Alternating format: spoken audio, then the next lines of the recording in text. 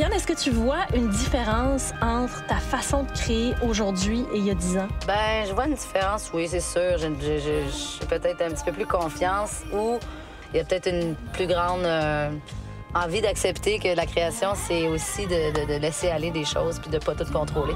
Qu'est-ce que tu fais quand tu passes rien? Ben, t'enregistres le, le vent dans les fenêtres comme le début de l'homme dans l'automobile. Tu sais, c'est ça qui s'est passé. Je- J'étais comme, ah, ce soir, c'est plate. j'ai pas d'idée.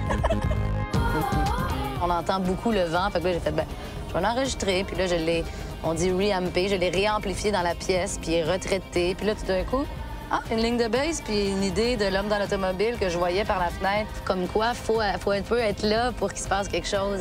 Puis ben, même quand on s'en attend pas, finalement, un grand moment d'inspiration peut, venir nous sourire, nous mettre la main derrière l'épaule.